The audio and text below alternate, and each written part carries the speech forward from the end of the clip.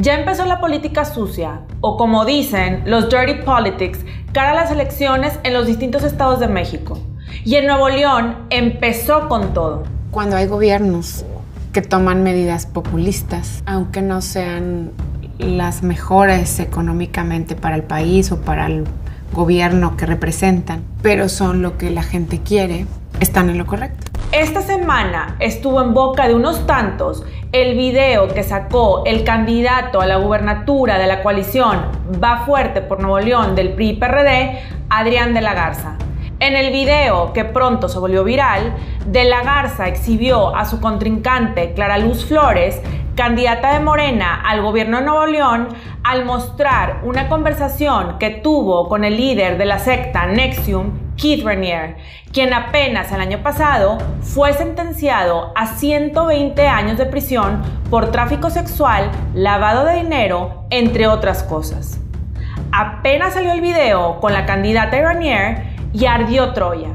El día de ayer recibí un archivo videográfico que pone en evidencia la relación directa y personal de la candidata de Morena, Clara Luz Flores, con Keith Raniere líder de la secta Nexium.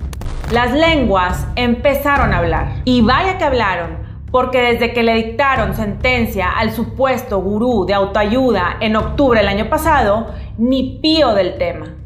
Aquí en México, claro.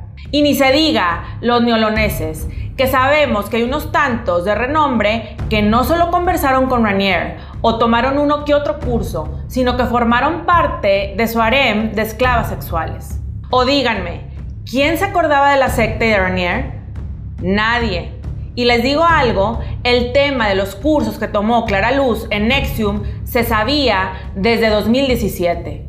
The Frank Report, uno de los sitios que habla de la secta y sus seguidores, lo publicó en ese entonces. Ah, pero ahora son elecciones y hay que sacarlo. Entre más sucio, mejor. No tengo nada que ocultar. Mi error fue participar en un curso de superación personal. Con pena acepto mi falta.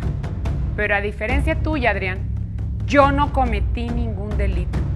Cuando las autoridades de Estados Unidos dieron carpetazo al juicio en Nueva York con la sentencia de Ranier y la de algunos de sus cómplices, a unos tantos políticos y empresarios mexicanos les convenía borrar todo y dar por cerrado el controvertido tema en el que Ranier logró infiltrarse en el sistema político y empresarial de México. Pero mientras que en México el gobierno y la sociedad prefirieron hush and don't tell por razones más que obvias, en Estados Unidos se desató una ola de confesiones públicas del círculo más íntimo de Ranier. Y ahí no había método alguno para callar a las víctimas del gurú pecador. Todo documentado en los canales estadounidenses de paga, HBO y Stars, con mexicanas y mexicanos besando la mejilla de Ranier y en close-up, sin blureo, en ambas series, Emiliano Salinas juega un papel principal. Y es que si nos vamos a poner a analizar qué políticos o hijos de políticos salieron involucrados en Nexium, pues les tengo una noticia. Hay de todos los colores. Tricolores, albiazules y guindas. Desde Emiliano Salinas hasta Ana Cristina Fox. De todo. Aunque existe una clara diferencia. Por ejemplo, se presume que Ana Cristina solo tomó un curso, mientras que Emiliano presuntamente adquirió un rol principal con Ranier. Presuntos cursos, presuntos cómplices. Como dicen, solo Dios sabrá. Lo que sí hay que aceptar es que hay de involucramiento a involucramiento. Es diferente tomar un curso de supuesta autoayuda a alimentar las fechorías del gran pecador Ranier. ¿O no? Porque en tomar el curso cabe el beneficio de la duda. Si se los vendieron de una forma y al final no fue lo que les vendieron. O si no sabían bien a bien el trasfondo del grupo de superación personal. Pero en el ser presunto cómplice no hay de dos sopas, es ser presunto cómplice y nada más. En días pasados, Mario Delgado, presidente nacional de Morena, también fue señalado como miembro de la secta.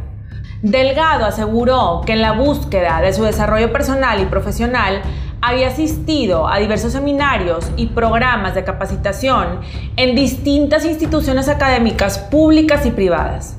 Aunque se presume que Delgado formó parte de la Sociedad de Protectores, un grupo con tintes misóginos dentro de Nexium conformado solamente por hombres. Verdades a medias o no, de alguna forma estos políticos e hijos de políticos presuntamente están involucrados con Nexium. Algunos como estudiantes, otros como pilares fundamentales de Nexium. Ahí está la clara diferencia. Aunque a los ciudadanos nos encanta el morbo político. Se dice que de los 18.000 estudiantes de todo el mundo que se registraban en cursos de Nexium, la mitad de ellos venían de México, entre ellos dichos políticos. Hoy hablo de esto porque no hay nada nuevo en esta guerra sucia. En el video que expone Adrián sobre Clara. Hasta donde yo sé, tomar un curso de supuesta autoayuda no es un delito. Pero nos encanta el tema porque no podemos creer cómo unos tantos cayeron en las redes de Ranier. Pero ojo, no nos distraigamos de lo verdaderamente importante. La sociedad debe enfocarse en las estrategias y planes de los candidatos y no en el pan y el circo. Cuidado en caer en el juego político de los predios de mina contra Nexium, porque de esa, quién sabe quién saldrá perdiendo. Ya no sé qué es peor pecado, si el haber creído en un supuesto gurú de autoayuda o el sacar un video con el afán de ensuciar una imagen. Lo que sí sé es que como ciudadanos debemos quitarnos la tierra de los dirty politics. Porque si no, seremos víctimas de los dimes y diretes tal cual revista de espectáculos. En el he said, she said. ¿O no?